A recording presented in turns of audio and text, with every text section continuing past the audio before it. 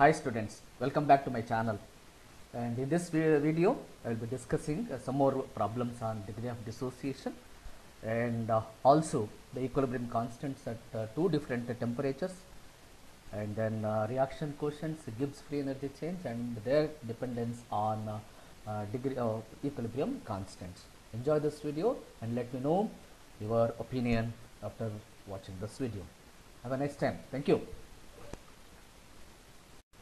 Uh, first question. Uh, the rate constants for the forward reaction A getting converted to B is 1.5 into 10 raised to minus 3 per second at 100 Kelvin. So, rate constant for the forward reaction is been given.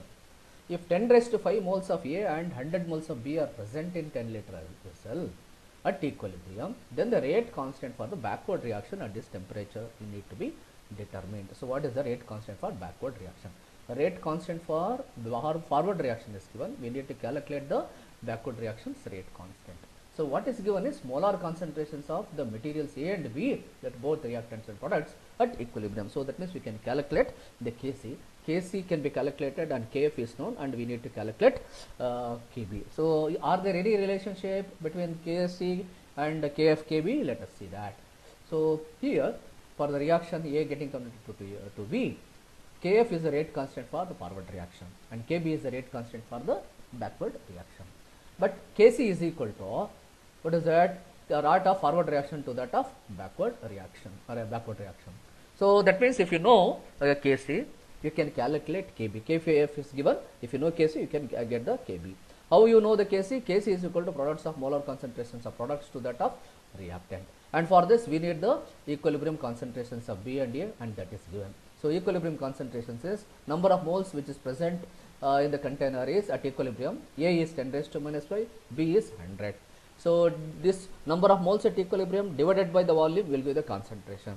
So what is the volume of the container? It is 10 liter. So number of moles divided by the volume will give the concentration that will be 10 raised to minus 6 for A and this is uh, 10 for the B.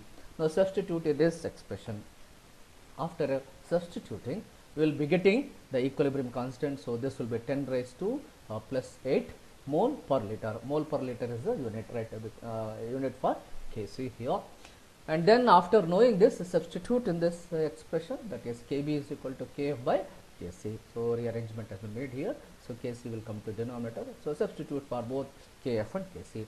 After substitution, Kf is 1.5 into 10 raised to minus 3 divided by 10 raised to 8 and the simplification this will come to numerator this will be 10 raised to minus 11 so this will be kb will be equal to 1.5 into 10 raised to minus 11 per second per mole per per mole liter. Because here in the denominator okay this unit was there and then mole per liter. So when it comes minus 1 this becomes plus 1 so this is the question right? And answer for this question.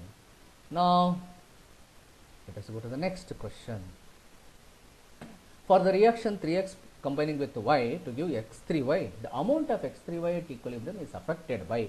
So, how the amount quantity of x3y will be affected by what? First, let us see the choices that are being given. Temperature and pressure, definitely temperature will increase, will vary, right? If you increase the temperature, more and more our reaction takes place. Of course, here they have not mentioned whether it is exothermic or endothermic, definitely it will affect temperature definitely as i told you this also affects right so this could be and uh, then pressure no not pressure will not and here temperature pressure as well as catalyst of course. So along with that catalyst is there. So d is the correct answer. Catalyst will also vary the amount of x3y in the uh, reaction. So that is the answer for it. Now let us go to the next question. Now the next question is a plus B giving rise to CD, the number of moles at equilibrium was found to be 4, 4, 2 and 8. So, number of moles of these materials at equilibrium uh, is given and it is present in 1 liter container. Find the new equilibrium constant if 18 moles of D are added to the above container. So, this is already at equilibrium. To that equilibrium, they have added D that is 18 moles of D. Then after that, there will be new equilibrium that will be set up and from that you have to calculate the equilibrium constant that's so it- that has to be determined that's it so you this is a reaction right uh, now the number of moles which is given is 4428 and the new change that has happened is uh, for to this uh, 18 moles of d is added so there is no addition of abc so that means remains this abc remains same and whereas D will be 18 plus 8. So, it means 26 moles of uh, this D will be present in the new equilibrium. So, then the concentration is equal to number of moles at the new, new equilibrium divided by the volume, volume is equal to 1. So, that will be 4 by 1, 4 by 1, 2 by 1 whereas this is 8 plus 18, 26 by 1. Substitute in this case you can get the answer, you can do the simplification and get the answer. The answer is 3.25 and there is a unit because numerator delta n and delta delta p are n, uh, delta n is equal to 0 here. Now next question. Example for reversible reaction. Which one is an example for reversible reaction is given here. Look here, first one, let me take the first one. Lead nitrate reacts with sodium iodide solution. When lead nitrate, which is an aqueous medium, reacts with uh, aqueous sodium iodide, it gives lead iodide solid. That means solid lead iodide will be separated from the reaction mixture with the formation of 2NaNO3. So what is given here, asked here, they are asked you to find out the reversible reaction. But what is happening here, when these two uh, materials which are in aqueous medium are made to react, you will be getting aqueous sodium nitrate with the formation of lead iodide in the solid form. That means lead iodide will be separated out. Look here. In a system which is an aqueous medium, right, which is happening in an aqueous medium, if one of the product is either solid or gas, then that reaction goes to the completion. In an aqueous reaction, right, if one of the product is either solid or gas, that will go to the completion. How it happens, I will tell you here. Look here, in this equation, what is happening? Lead iodide solid is separating out of the aqueous mixture. So when it goes out of the aqueous mixture, this equilibrium feels that there is no lead iodide in the uh, equilibrium. So it produces more and more lead iodide by interacting lead nitrate with sodium iodide. So once it is formed, that will be eliminated out as a solid. Once it is eliminated, it feels again there is no lead iodide and keeps producing and producing and producing till all the lead nitrate will be converted to lead iodide. Thus, the reaction goes for the completion. So if one of the product is either solid or gas, it, the reaction will go to completion. Now let us see the next equation. So first one is not an example for reversible reaction.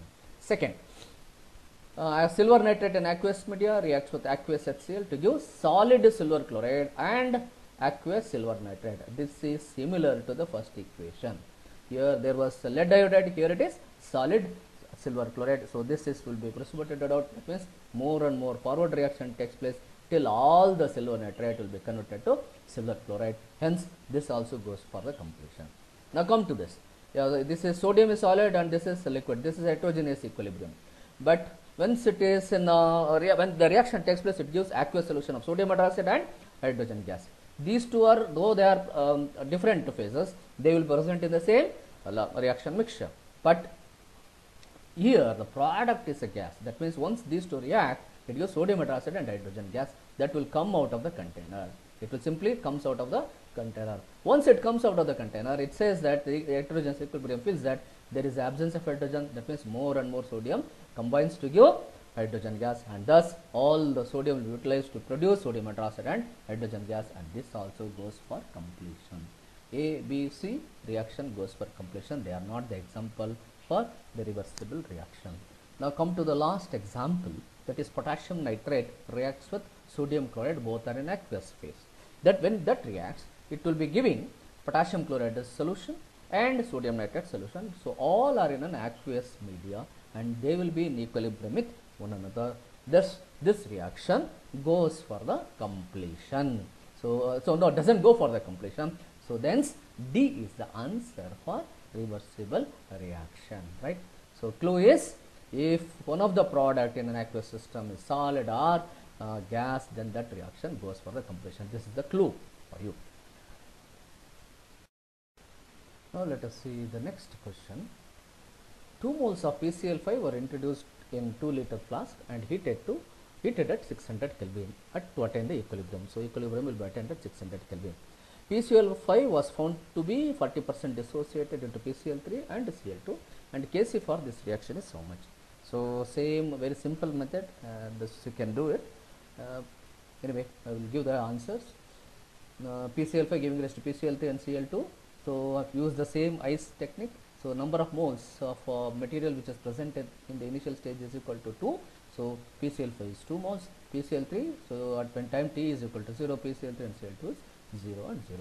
Then the change that occurs at equilibrium would be this is A moles, the change will occur is A into 1 multiplied by x, x is the degree of dissociation that is equal to Ax, Ax is A is 2, so therefore this is 2x. So, Ax moles of PCl5 decomposes to give Ax into 1 mole of PCl3 that is 2x moles of PCl3, Ax into 1 mole of Cl2 that is 2x moles of Cl2. That is this is the uh, what a change that happens at equilibrium. Then the number of moles which will be present at equilibrium will be equal to I minus C that is 2 minus 2x here whereas here there is no materials for PCl3 and Cl2 therefore this is 2x and 2x. So these are all the number of moles of the materials which are present are left over at equilibrium. So at equilibrium these are all the things which are present there. Then the, what is the concentration of the material at equilibrium that is equal to number of moles at equilibrium divided by the volume. Volume of the container is 2 so therefore divide this by 2 then on simplification you get 1 minus x power PCl5, PCl3 is x and Cl2 is also equal to x. So here uh, degree of dissociation is given as uh, 40 percent. So x is equal to 40 divided by 100. So simply percentage means divided by 100. So that means x is equal to 0.4. Substitute here. So 0.4, 0.4 if you substitute here one is 0 0.6 and this one is 0.4 and here also 0.4. Now substitute in the Kc expression. Kc is equal to products of PCl3 and Cl2 divided by PCl5. So on simplification, what you get is 0.4 and 0.4. If you multiply, it becomes 0.16 divided by 0.6. Uh, the since it is a fractions, it is uh, so not so simple. So convert this into whole number. 0.16 can be written as 16 into 10 raised to minus 2. 6 can be written as 10 into uh, 6 into 10 raised to minus 1. So 16 by 6 is equal to 0.67. So when it comes to numerator minus 2 plus 1 becomes minus 1. So mole per liter will be the unit because uh, n delta n is equal to 2 minus 1 that is equal to 1. So concentration for your uh, the unit for the concentration mole per liter to the power 1 is mole per liter. So, so this is the answer for this question. So answer is where it is it is there in the B. B is the answer. Now let me tell you uh, some of the important uh, shortcut methods to understand the equilibrium very well let us say A plus B getting converted to C and D. So in this equation Kc is equal to molar concentrations of products to that of reactant. So then let me call this as equation 1 and if the value of Kc is greater than 1000, if the value of Kc is greater than 1000, what does it mean? The value of numerator is 1000 times more than the denominator. What is the numerator? Numerator is concentrations of products. What is denominator? The concentrations of reactants. So, if the value of numerator is greater than uh, 1000 means the what does it indicate is the amount of reactant at equilibrium is almost 0. This is 1000 times more than the reactant. That means there is no uh, reactant at the uh, at the equilibrium. So, that means the reaction has gone to the completion almost completion since it is almost 0 it is almost completion. So, with the value of Kc you can tell what will be the status of the equilibrium. Now, let us see the converse instead of 10 raised to minus uh, plus 3 let us take if the value of Kc is less than 10 raised to minus 3. Here numerator converse means denominator. Denominator is 1000 times more than the numerator. Denominator means what? Concentration of the reactant is 1000 times more than the product. What does it indicate? That the amount of product at equilibrium is almost 0. Here reactant is 0 whereas here product is 0. That means the reaction is hardly progressed. So, by knowing the value of Kc, you can tell whether reaction is in the forward direction that is almost completion or it has not begun. So, that you can tell with the value of Kc. This is a very important tool to understand like especially chemical equilibria, ionic equilibria especially ionic equilibria. Now, let us take uh, another uh, relationship now, now this del Kc is related to delta G that is change in free energy. Delta G is free energy change at a given temperature whereas delta G naught is a standard free energy change at a standard conditions of temperature, pressure and concentration. So, at equilibrium delta G is equal to 0 then delta G naught becomes minus RT into ln Kc. Now, let us express this uh, in, in terms of Kc. Kc is equal to uh, in terms of delta G naught e to the power of minus uh, delta G naught by RT or if you convert this into logarithm to base 10 it will be e to the power of sorry 10 to the power of minus 2.03 into delta G naught by RT. So, do this uh, let us take the value of delta G naught. If delta G naught is equal to 0, what does it will happen? Anything to the power of 0 is 1, so Kc will be 1. When Kc is 1, what does it mean? mean? So both the concentrations of products and reactants are the same. So that means it is at equilibrium. So by knowing the value of delta G naught, you can tell what is the status of the Kc. Kc, if the delta G naught is 0, Kc will be at equilibrium. If delta G naught is less than 0, if delta G naught is less than 0, Kc will be greater than 1. Kc will be greater than 1. When this will be greater than 1, when the when the Kc will be, value will be more than 1, when the numerator value is more than that of reactant. So that means more and more forward reaction taken place means Kc will be greater than 1. So this will happen when delta G naught is less than 0. You take the example this as minus 1, minus 1 means 10 to the power of uh, minus into minus plus. So that means 10 to the power of positive value. So 10 to the power of positive value means definitely it is greater than 1. Similarly, if the delta naught is less than sorry greater than 0 here it is uh, less than here it, here it is greater than 0 means Kc will be less than 1 then the Kc value will be less than 1 so take the value as 1 and see it will be less than 1 because this will become 1 divided by 10 raised to something.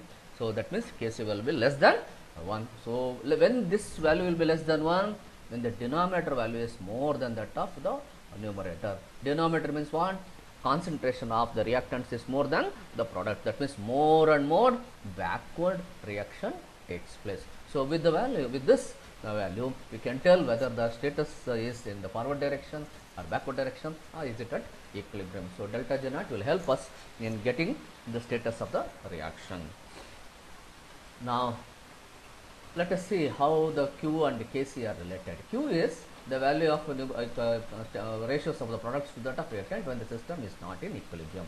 Q is the value of the concentrations of products to that of reactant when the system is not at equilibrium. When it is not at equilibrium, this value, the ratios of products to reactants is expressed as reaction quotient. It is called as reaction quotient. How this is related to Kc? Let us see that. If the Q value, that is reaction quotient, is less than the value of Kc, then what happens? The value of Q increases how the value of q increases? It will increase only when the numerator value is more. So that means more and more numerator value increases means more and more forward reaction takes place. So with the value of q is less than Kc, more and more forward reaction takes place to attain the equilibrium. Similarly, if the value of q is greater than that of Kc, if the value of q is greater than that of Kc, then what should happen? The q value should decrease. How it will decrease? Only when the denominator increases. Denominator increases means what? More and more amount of the reactants will be getting back. So that means more and more backward reaction takes place. So if the Q is less than Kc, more and more forward reaction takes place. If the Q is greater than Kc, more and more backward reaction will occur. So by this we can tell the status by knowing the value of uh, reaction quotient and with respect to Kc how that differs uh, by that we can tell whether which reaction will be in progress. So these are all the shortcut tools which will help us uh, in knowing the equilibrium status. Now let us see some more questions on the previous concepts that we discussed. The two reactants A and B are mixed to give products. Now they are mixed to give products C and D. Uh, the reaction quotient at the initial stages of the reaction. So now you are mixing A and B. That means it is the beginning of, beginning of the reaction. So when the beginning of the reaction, Q is nothing but Q is nothing but the reaction quotient uh, when the system is not under equilibrium. So now what is happening? The reaction has just begun. So the reaction begins means what? Q is equal to product of molar concentrations of products to that of reactant. So that will be more and more C and D will be forming at the initial stages of the reaction. More and more C and D is forming means what? Q value will be in the increasing status in the initial stages of the uh, reaction. So Q will be in the increasing status of the uh, reaction. So that means as the time increases, Q also increases. So increases with time till it attains equilibrium. So answer is D for this. Now next uh, next question. The standard free energy change that is uh, delta G, uh, G naught at 300 Kelvin for the reaction 2A is getting converted to B and C is 2494.2 joules. So this is positive value. Remember this. This is greater than zero. At a given time, the composition. No, it is at a given time at a composition of reaction mixture. It is not at equilibrium. It is at a given time T. So the reaction mixture is A is equal to half, B is equal to 2, C is equal to half. The reaction proceeds in, so R is given, right, and E also given, right. Now look at this. Here itself it says delta G naught is positive. When the delta G naught is positive, Kc is in the, if that means delta G naught is greater than 0. When the delta G naught is greater than 0, Kc will be less than 1. When Kc will be less than 1, Kc is equal to molar concentrations of products to that of reactant. This will be less than 1 when reactant concentration is more than the product. That means more and more reverse reaction is happening. So this is a clue. Delta G naught is greater than 0 is a clue that it is the reaction happening is a reverse direction. So it is in reverse direction. So A, C it is not there, B and C reverse direction. But now you have to know how whether the Q is greater than Kc or less than Kc. So for that at a given time it is given reaction quotient can be determined. So simplify it here simply directly you can do that B and C are divided by uh, A to the power of uh, uh, 2. So B is 2 and to C is uh, half 2 into half is 1 divided by half to the power 2 that means that is 1 by 4. So 1 by 1 by 4 is nothing but 4. So 4 means the value of the Q is more than Kc because Kc is less than 1 whereas Q is 4 that is greater than 1. So that means reverse direction uh, B is the correct answer. Now next uh, N2 plus 3H2 so giving us to 2NH3 which is the correct statement for N2 uh, uh, when if N2 is added to the equilibrium. So you can answer this question so it is on par with the uh, these are the questions which are already been discussed right? Just see this. Okay you can answer this. And there is another question which has appeared uh, in the JEE all these questions are from JEE so answer these questions. So here CO plus H2 versus CO2 plus H2 at given temperature the equilibrium amount of CO2 can be increased by what? So I have already discussed one question on this. So you can answer this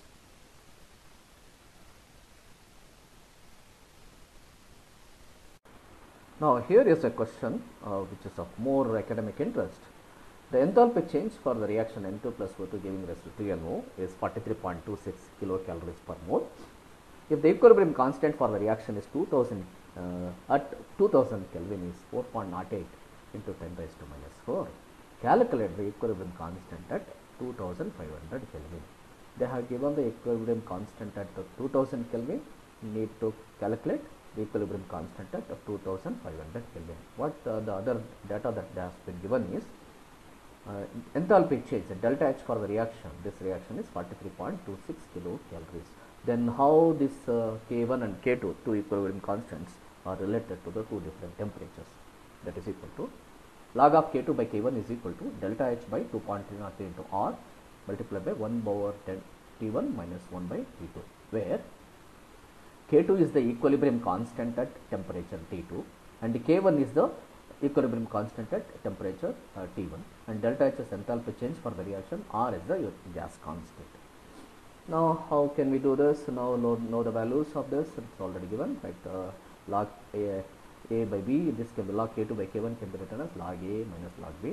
So you can uh, you know log K1 log K2 can be calculated. So for that delta H is 43.26 kilocalories per mole. You convert this into calories by multiplying this by 1000. T1 is 2000 calories.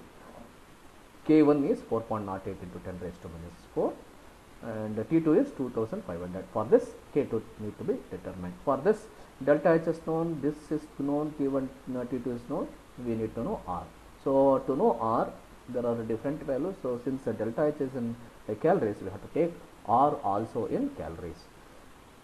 So R also to be in calories. For that the set of uh, R values are been given here uh, for the for you to know. So you have to, choose the R with uh, the unit calories. So this is the uh, value that has to be taken 1.987 calories per mole per Kelvin to be taken here.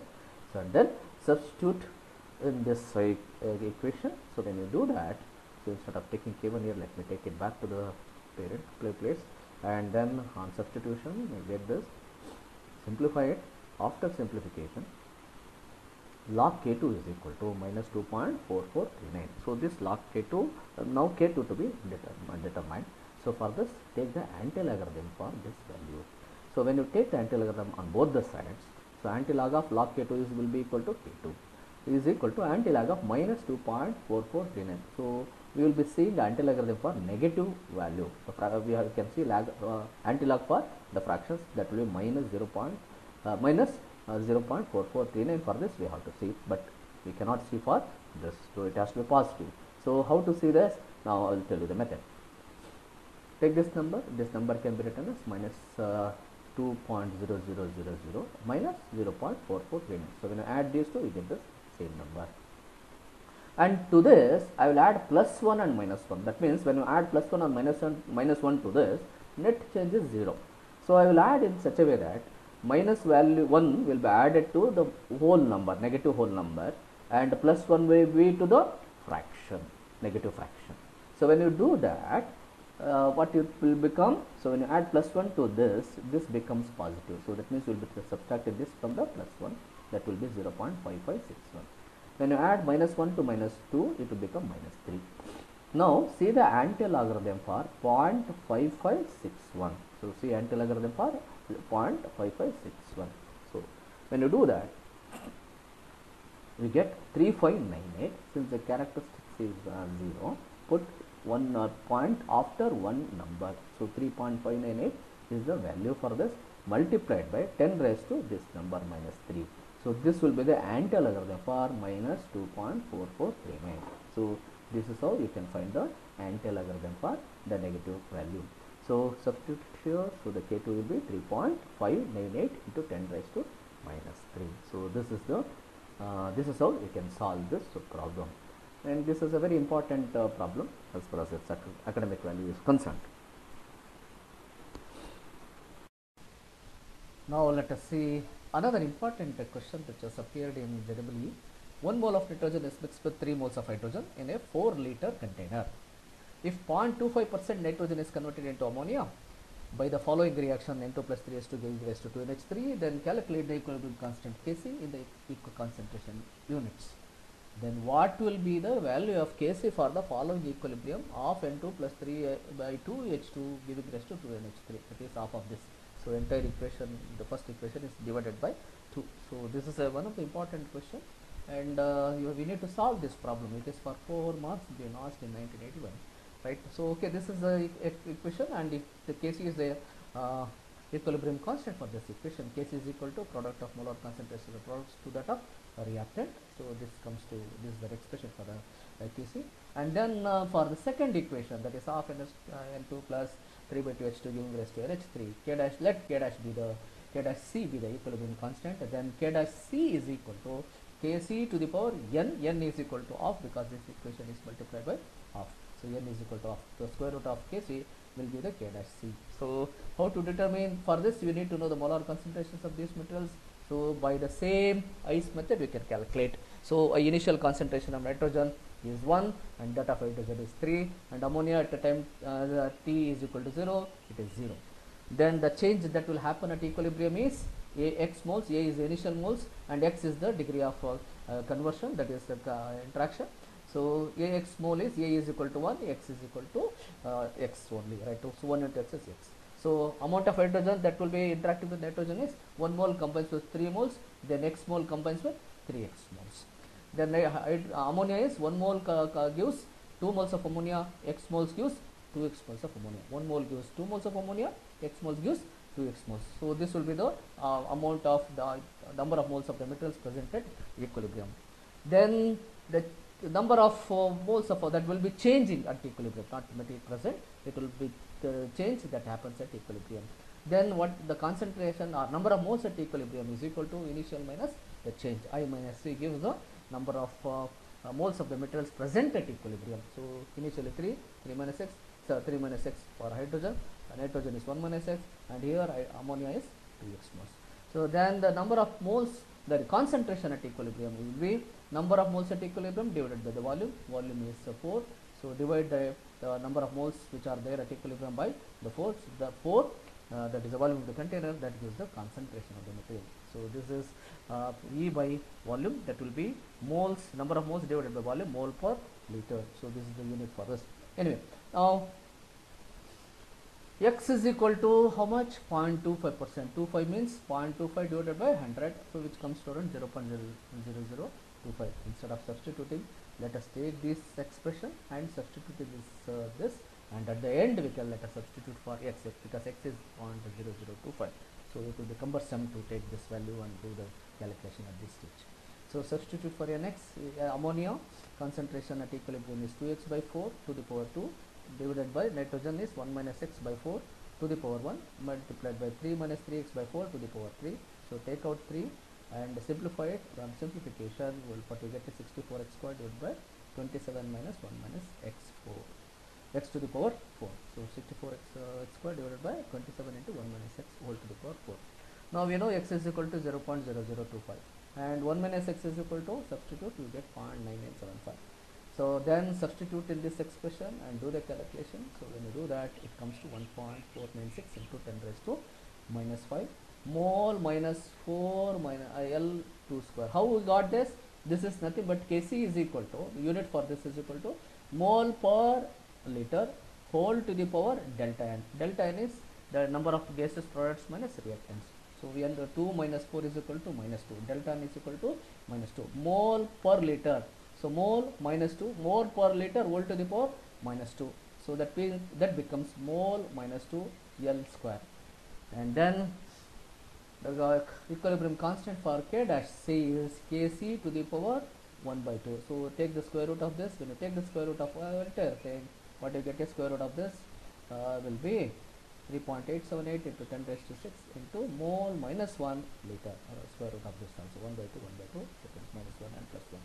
So this is the value for K dash C, the second equation and Kc is this 1.496 into 10 raised to minus 5 mole inverse square L square and this is mole inverse L that will be 3.878 into 10 raised to minus 3. So read the question properly and uh, know the answer right. So and deduction of answer is not uh, difficult right. So what is that is needed is understand the question properly and answer it. Now let us see this cartoon uh, to understand uh, what will happen when the liquid and its vapor are in equilibrium and the pressure is suddenly decreased cooling occurs. Is it true or not? Let us say with this cartoon. So this is a system which is in equilibrium uh, where in which vapors are in equilibrium with the liquid. So the vapors will be forming and then getting condensed back into the liquid. So these are the dots are nothing but the vapors of the water, right? So this is closed here, right? Now when you apply vacuum here to reduce the pressure, suddenly to reduce the pressure, I am applying vacuum here. As a result of that, what will happen here is it will lead to the state where in which these vapors, right, because of the sudden decrease in pressure, expansion of the gases takes place. As a result of sudden expansion, cooling happens, and this is the basis for Joule-Thomson cooling. There, this is called a Joule-Thomson effect. So cooling do occur in the system. So this cartoon will tell you uh, that it leads to decrease in temperature. So cooling occurs. Dear friends, this is the time for you to ask questions. Please feel free to ask questions. Don't have any inhibitions. So please uh, like this video, share with your friends and subscribe to my channels. Thank you very much. This has been a nice time with you. Uh, please let me know if you have any questions. Wish you all the best. Thank you very much.